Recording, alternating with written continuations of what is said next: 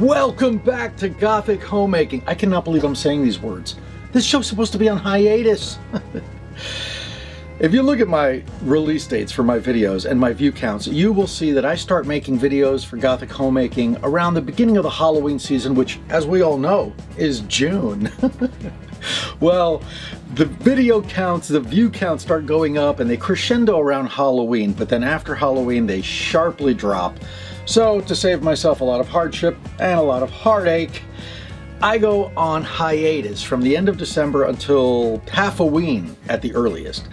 But I just came from an incredible Halloween themed show that was so amazing that I just had to drag myself out of retirement to make an episode about it for you.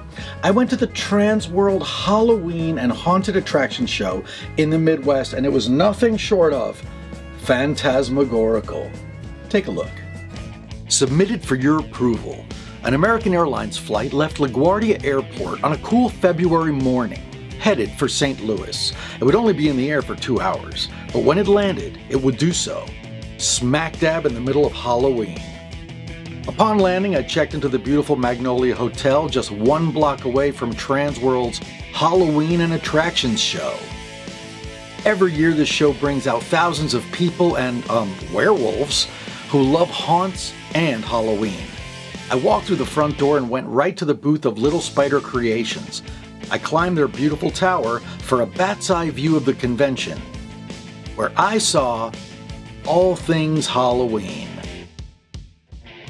Dark gods, you could really go broke, or should I say, ho, watching the money get sucked out of your wallet on these amazing props that are just to die for. Every year, purveyors of haunt and Halloween items set up their booths at Transworld. Like carnival barkers, they try to scare up business from the attendees. And who are these attendees? For the most part, they're owners of haunted attractions who haunt these halls looking for deals on props, sets, special effects, and more. It's a trip. Speaking of trips, when I saw this guy, I thought I was on shrooms. Then I realized the shrooms were on him.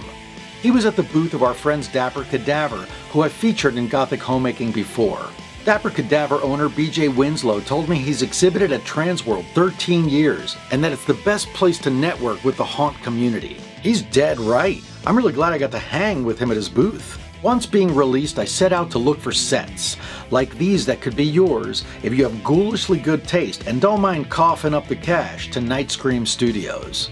I really appreciate that they set up their booth like a miniature haunt, so you have an opportunity to walk through and see how all of these components work together to create an eerie environment. No bones about it. The special effects lighting and sound effects really brought this place to life. Or is that death? Suffice to say, whether your haunt is a professional one or in your garage on Halloween, if you came here looking to buy the walls for your haunt, you'd be set. There were also costumes like these creepy moss suits, which you might be liking.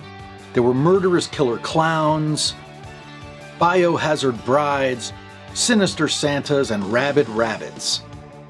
But there were also gothic Victorian costumes for your vampire haunt, and steampunk looks that were elegant and not the least bit fishy. At the booth of Midnight Mayhem Apparel, they had all the costumes you need for your characters to properly haunt a haunt. And while they specialize in clowns, it was clear they weren't afraid to get their hands dirty. Or is that bloody? Making, well, whatever the doctor ordered. At the Chaos Effects booth, there were props that were sure to take your breath away and blow your mind, like this belt made of human nipples. I'm so glad they kept me abreast of these gory props, and let's face it, some of it might make your customers lose their stomachs. They also had this crazy spider baby pet that made me bug out. If your actors need a pet, Boys and Gargoyles could find more at a booth down the way, which were wonderfully horrible, and I think we can agree, fantastic. I have to give props to Creature Core for illuminating how to get ahead in this crazy Halloween business. At Black Martin Brands and Amy's Abominations, they had deep fried hands that looked finger licking good. As an added source of revenue for haunts, these folks make and sell horror-themed merchandise that can be sold in a gift shop that can sometimes be found at the end of a haunted attraction. or maybe at their snack bar. At Brutal Images, they had these incredible pickled punks that were so realistic they left my mouth ajar. Now, truth be told, they looked kind of pale and sickly, but fear not, because at Transworld they also have all of your makeup needs. In fact, you can say that at Transworld, they've got you covered from head to toe. There were booths selling face paint, and booths selling theatrical contact lenses, and there was lots and lots of body paint, and everywhere you looked, there were talented makeup artists showing off their latest tech. Or is that Aztec? There were also seminars throughout the weekend, including one on set painting by the talented Brian Dembski. This artist has gotten ahead by having a mind for faux finishes. And there's one thing you can be sure of he's certainly not rusty. Iodine. I mean, I almost died seeing how incredibly realistic these finishes were. I was speechless. There were vendors selling atmospheric effects like the ubiquitous fog that all haunts should really have, and there were these smoke filled bubbles that were really a gas. I have to admit, they really brought out my inner child, or is that my inner Goblin King? They were just too much fun. But my favorite atmospheric effect was this smoke ring throwing cannon. I have no idea what I'd use it for, but I felt I had to have it. Honestly, it was running rings around the regular smoke. Also exhibiting were haunts like 13th Floor.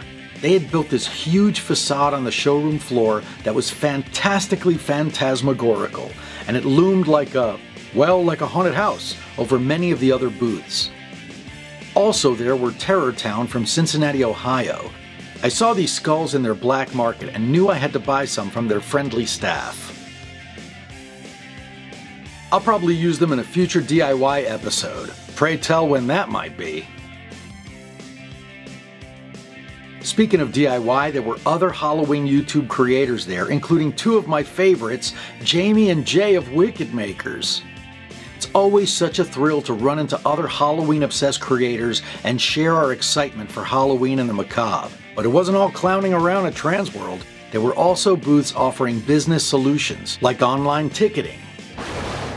Let's be honest, you're not watching this episode because you care about online ticketing solutions. So let's get to the good part. Here are the five best things to see at Transworld. It's not Halloween and it's not a haunt without some creepy, ghoulish monster masks. And let me tell you, at this place you could really go hog wild over the selection. But which to choose? They had every manner of monster imaginable. These countless booths were just killing it and pumping out design after design, each booth running wild with their own take on the Halloween mask. As a monster kid, I felt like it was Christmas, albeit a creepy Christmas perhaps. No fooling, at every price there was everything from classic horror and Halloween looks to these extremely detailed modern silicone masks, sure to make your eyes bulge. There were masks so scary they'd make you want to cover your eyes. With everything from demons to demigods there was an absolutely monstrous selection of jaw-dropping designs to drive you mad and impress even the biggest fish in the haunt world. My old friend Billy Messina of Netherworld Haunted House in Atlanta was blown away by the selection we saw at Immortal Masks, and for good reason. These masks were smoking, and this lava mask is so fire I can only give it a glowing review. At Original Sin Design, there were these life-size figures that were so realistic, they'd be sure to make your customers lose their minds. They were painted and dressed and detailed to a bloody T. And since they're molded from real people, they're absolutely lifelike. Or is that dead-like? They were also crushing it at Rib Effects, and over at Morbid Monstrosities, I got so giddy I could have puked into someone else's mouth. Your customers will go ape over puppets that can be puppeteered in real time and create a very personal experience, especially with designs like these that are so ingenious and think out of the box. Puppets like these can add a really hairy and dynamic experience to your haunt. I thought these were really sweet, but then, what else can you say about a possessed bucket of cotton candy? And this meatball guy who tried to take a bite out of me was rather saucy.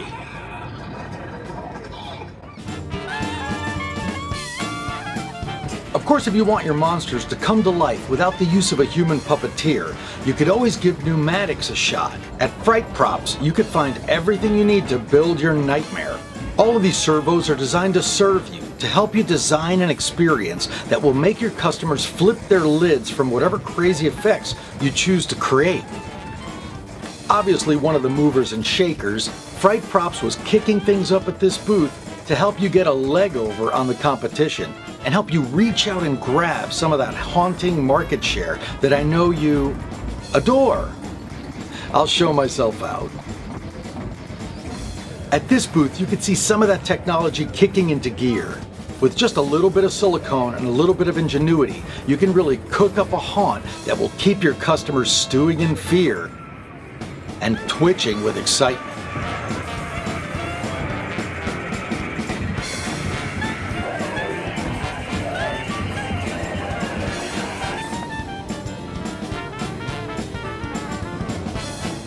I took a spin around the showroom floor and at the booth of Gore Galore, I saw a giant animatronic that I can assure you was no bore. Next at the booth of Beastcraft, I felt like I'd walked into a cannibal buffet, and I must admit I instantly wanted all of these friends to join me in the lair. I'm in the middle of a cannibal buffet. They like me that way. So if you really want to know what's eating me, it's the man eaters on the coast of Barbary. It's the man eaters on the coast of Barbary. They'd be so much fun to have in my home, but I'd be sad when they go. Because I was just batty about them. Next up, I had an electrifying experience at the Distortions booth where things were really heating up. Some of their animatronics are absolutely shocking. And I can tell you that their customers had a hard time containing themselves from all of the excitement at seeing so many animatronics that were out of this world. This is the alien containment unit that Jamie from Wicked Maker said she loved so much. But what you don't get from this video is that it actually spits at you when it flies out. It's as wet as it is wild. Distortions is truly one of the best companies for animatronics, and I have to say that what I love most about them is the aesthetics. The sculptures are really great, and the design of their characters is really unique, but they're still rooted enough in classic horror to create a traditional Halloween experience. It's no surprise there were so many people trembling with excitement at their booth. This is clearly a company to keep an eye out for. And that brings us to the number one thing to see at Transworld, the Dark Zone. This is the place where companies like Scare Factory get to display their most impressive animatronics in a dark space so that you can see what they'd look like in an actual haunt. I took one step into the Dark Zone and I felt like I was instantly transported to the Day of the Dead.